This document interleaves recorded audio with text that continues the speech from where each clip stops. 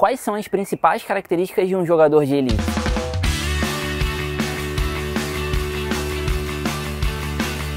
Eu vou listar seis delas. Algumas das que eu acho que são as principais, ou pelo menos as fundamentais, características que todos esses jogadores world class, fora de série, jogadores de elite, como eu falei, mesmo que tenham contado também com a sorte em algum momento da carreira para transformá-los em jogadores especiais fora de série, sem dúvida todos eles em comum têm as características que eu vou citar a seguir. A primeira delas é foco. Eu sempre volto nessa palavra, né? Mas é que talvez a, o principal erro que a maioria dos jogadores cometa é esse. Não só no jogo, ali na hora do jogo, mas de uma forma geral, na carreira, no aprendizado. Aquela coisa que eu sempre falo, por exemplo, de querer aprender vários jogos ao mesmo tempo, misturar conceitos, sabe? Mas nesse caso aqui em especial, eu tô falando do foco durante o jogo mesmo, sabe? Aquela coisa de perder a atenção toda hora, de ficar distraído com Facebook, WhatsApp, com o jogo do Cruzeiro no monitor do lado. Ó, pensa aí, quantas vezes você jogou 100% focado, prestando atenção em toda a dinâmica, em todos os detalhes, fazendo note em todo mundo, abrindo a mesa semifinal ali para fazer note nos outros adversários que talvez você vai encontrar na mesa final, checando pequenos detalhes nas stats de cada um, fazendo observações, pesquisando todo mundo no Sharkscope, reparando e anotando tudo mesmo sobre cada mão, cada pequeno detalhe, para que você possa usar depois, mesmo nos esportes mais marginais que surgirem.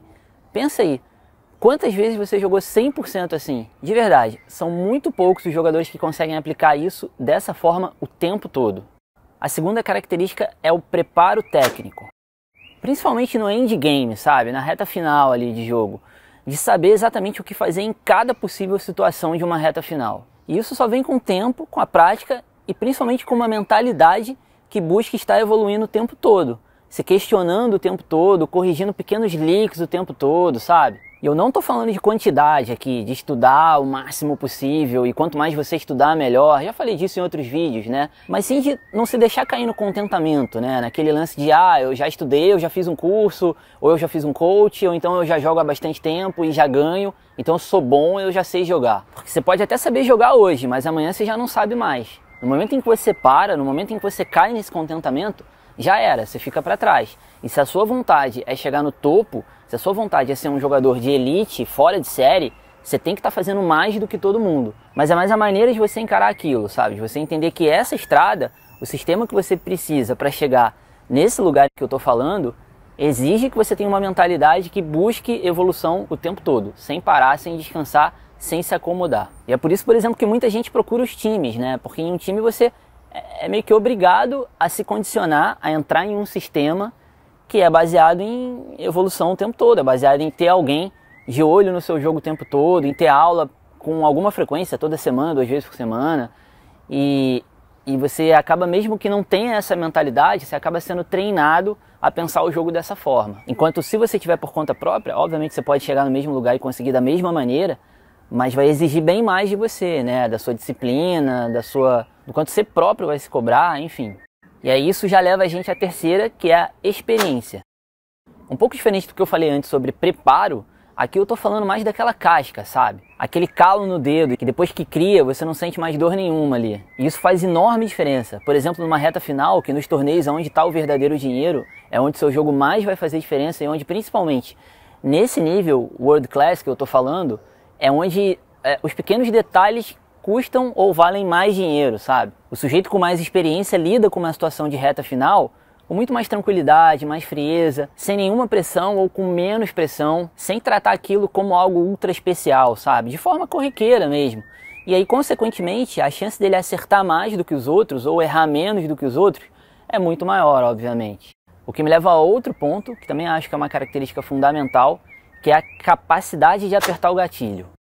Essa é uma característica que eu acho que muita gente tem naturalmente, sabe? É aquela facilidade maior de fazer o que sabe que é o certo a se fazer, sem medo de errar, sem que nenhum motivo emocional trave-o ali no momento, sabe? Sem que tenha nenhum bloqueio, nenhum, nenhum medo, enfim. O cara, às vezes, por naturalidade, por personalidade, tem uma facilidade maior de agir racionalmente com frieza nas horas que mais importam. Às vezes vem de uma baixa aversão ao risco que a pessoa tem ou de uma personalidade mais destemida mesmo. Pensa aí, quantas vezes numa reta final você já peidou para fazer uma jogada que você sabia no fundo que era a jogada certa a se fazer naquele momento, mas que era mais arriscada, um hero call de um pote gigante, um blefe em um pote gigante, que certamente você faria se fosse num torneio baratinho ou se fosse no early game de um torneio. Quanto maior for essa característica de um jogador, menor a quantidade de vezes que isso vai acontecer e, consequentemente, ele vai acertar mais. E na real, o que mais vai te ajudar nisso é de novo a experiência, sabe? Porque se você já passou por aquilo outras várias vezes, aquilo vai soar mais natural para você e vai deixar de ser, como eu já falei, aquele spot ultra especial e consequentemente você vai ter mais chance de acertar como se você estivesse jogando um pote pequeno de um early game ou de um torneio barato. A pressão vai bater bem menos ali na hora, sabe? E eu acho que essa capacidade de apertar o gatilho vem também de uma outra característica, que é a confiança. Você já notou o quanto é comum os resultados virem em ondas? O que a gente chama de churrilho, né? O cara acerta ali um grande torneio e na semana seguinte, no dia seguinte, a chance dele acertar um torneio grande de novo é, acaba sendo maior. Cara, isso é muito mais real e sinistro do que parece. A gente vê isso aqui no time toda semana, você não imagina. É literalmente como se fosse um, um churrilho, né? uma chuva sequencial de coisa boa. Como se tivesse um deus do baralho lá em cima que falasse: vai lá, meu irmão, vai que agora é tua hora de brilhar. E aí a gente fica tentando identificar por que é que isso acontece, né? Não dá pra gente acreditar que é mágica ou que é o deus do baralho. E o que a gente aprendeu é que é justamente a confiança que dá uma maior capacidade de você conseguir apertar o gatilho na hora certa, como eu falei numa das características anteriores. Porque mesmo que você seja mais experiente, mais destemido e tudo mais, a gente como ser humano evoluiu de uma forma completamente orientada a resultados. Se você dá uma cabeçada na parede e aquilo dói, você aprende que não é para fazer aquilo de novo, justamente porque o ser humano que batia com a cabeça na parede e não aprendia isso, não sentia a dor e não racionalizava que aquilo não era para ser feito de novo, não, não evoluiu. Né? Então, nós que estamos aqui somos descendentes dos que aprenderam a se orientar a esse resultado para aí sim saber tomar a atitude correta. Então, a gente é biologicamente programado para se orientar aos resultados, sabe?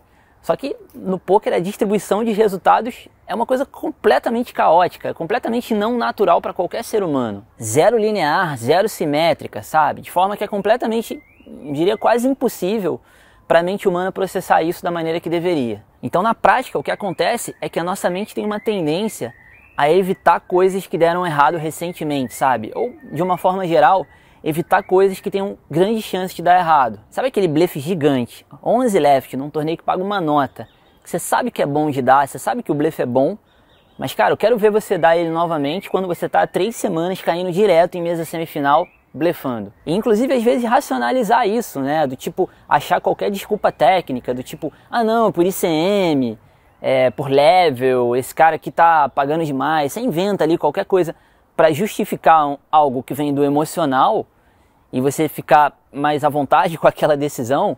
Quando se você tivesse acabado de cravar um ou dois torneios gigantes, tenho certeza que você faria aquela jogada sem dó, sem passar por nada desse processo.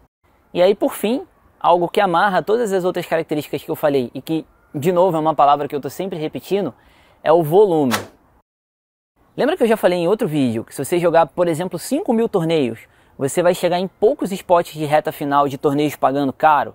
Pois é, o cara que joga 15 mil torneios vai chegar nesses spots três vezes mais do que você. E muitas vezes é aí que está a grande diferença, sabe? A gente vê ali o cara chegando toda hora, cravando alguma coisa toda hora, mas de repente você vai ver o que ele está fazendo de diferente é jogando toda hora. Parece óbvio, mas muita gente não segue isso, muita gente não entende isso. Inclusive profissional, tem muitos grandes profissionais até que chega um certo momento da carreira ali que o cara começa a ganhar uma certa grana, ele se acomoda e joga duas, três vezes por semana, pega só os torneios creme, aí joga domingo, terça e quinta, né? Domingo porque paga mais, terça e quinta tem os torneios mais caros, mas são os dias mais difíceis também. E aí acaba ficando a mercê de ficar seis meses sem ganhar, um ano sem ganhar, por exemplo, de pegar variância, dar um swing muito maior e estagnar a carreira, como muitas vezes acontece, isso é muito mais comum do que parece. Por essa razão, exatamente por não colocar o volume necessário e por não entender que se você quer chegar mais longe do que onde você está, você precisa manter esse ritmo de volume o tempo todo. Você não é profissional de poker? Profissional de poker é o cara que trabalha com isso, né? Então vamos, vamos trabalhar, pô. Tem, existe alguma carreira onde você seja profissional e consiga ficar assistindo futebol duas vezes por semana, descansa no outro dia, assiste Netflix no outro dia e joga duas vezes na semana só? Qual atividade você vai trabalhar duas vezes por semana ou três e chegar a um ponto alto como esse que a gente está falando de ser elite, world class? Não consigo pensar em muitas. Definitivamente o poker é a última delas onde você vai conseguir isso dessa forma. Eu sempre falo também sobre o quanto bons resultados no início da carreira, principalmente, podem fazer toda a diferença, virar uma chave ali no desenvolvimento, né, no curso que a carreira desse jogador vai tomar dali em diante. Isso também se aplica aqui, porque mesmo quando a gente fala de ultra high stakes, qualquer dos caras que chegaram lá nesse jogo ultra caro começaram de baixo, né? Começaram grindando pesado mesmo, volumando, sabe? E com isso, consequentemente, a chance de um cara desses ter um spot de sorte, como dos que eu falei, é muito maior, né? Quanto maior o volume você fizer no início de uma carreira, no curso do desenvolvimento da sua carreira, mais vezes você vai chegar numa situação que pode alavancar a sua carreira. Exemplo ridículo, né? Mas numa reta final de um Sunday Million, ou é, quanto maior volume você fizer, melhores resultados você vai ter que vai te permitir dar mais tiros. Tiros esses que quanto mais deles você der, pode ser num torneio live, um BSOP, por exemplo, maiores as chances de você ter um prêmio grande que alavanque a sua carreira, sabe? Tudo tá ligado à quantidade de volume que você vai colocar, a quantidade de torneios que você vai jogar. Enfim, a gente não aprende pot odds no jogo, a gente sabe, ou pelo, pelo menos deveria, saber disso mais do que qualquer outra pessoa, né? Então, no fim, é uma questão de odds. Quanto mais lugares você mandar currículo, quanto mais amores você tentar conquistar, quanto maior a quantidade de negócios que você tentar abrir, maiores as chances de um desses dar certo de forma definitiva ou de forma significativa. No poker é igualzinho. Quanto mais vezes você se colocar em possíveis spots favoráveis a ter sorte, maiores as chances de você ter sorte. Parece óbvio e ridículo, e é mesmo. O difícil é seguir, né? Colocar em prática. Mas, cara, não depende de ninguém mais, de nada mais, além de você próprio. Só você.